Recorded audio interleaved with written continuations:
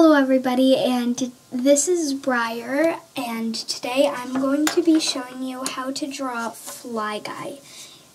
Um, he was first drawn by Tedd Arnold and I'm going to try to recreate. I, I've done it before and I think I'm pretty good at it. So I'm going to show you. We're going to start with the eyes. Just one big circle and another big circle. These will be Fly Guy's eyes. Now we're going to draw the body. Start in the middle of one eye and scoop to the middle of the other eye for the body. This is the beginning of Fly Guy. Now we're going to draw the pupils just little circles and fill them in.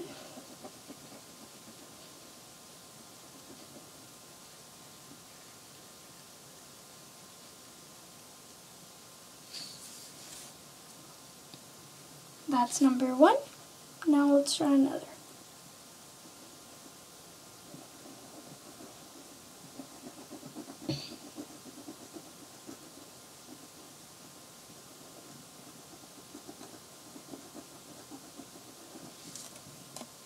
two pupils. Try to make them as even as you can. And since one of mine is smaller, I'm just going to fill it in a little more. That's pretty even. Now a couple of spirals because all of I've noticed all of Tedd Arnold's eyes have very light spirals on them he puts spirals on everything. And it's really cool because it blends in really nicely, which I think is amazing. So we're just going to put these all over. And same over here.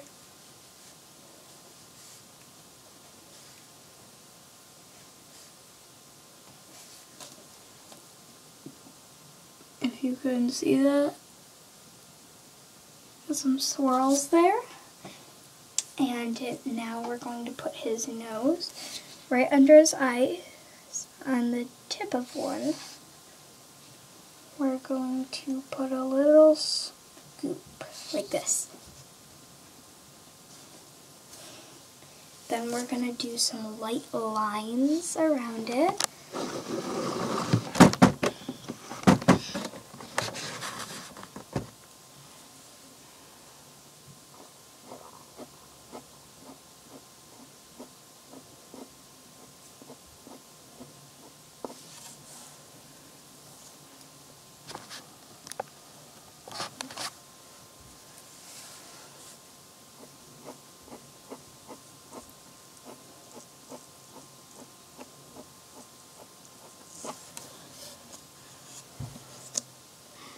So this just gives it a little bit of dimension. The next thing we're going to do is his cute little smile. And it's kind of hard to see me doing this, so I'll scoot you guys closer to me. We're going to do right in the middle, a big smile and two little pudgy cheeks.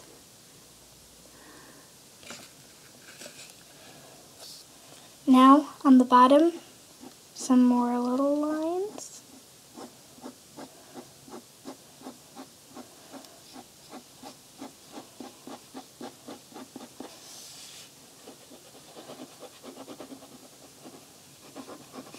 Put a little more on the top. Now we're going to do his arms. They're just little sticks. So, line, finger, finger.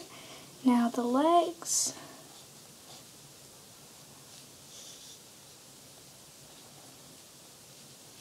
The antennas.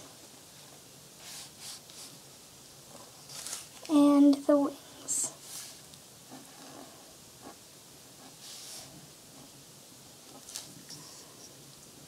it'll finish like this.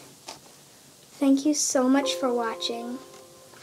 I hope to see you next time.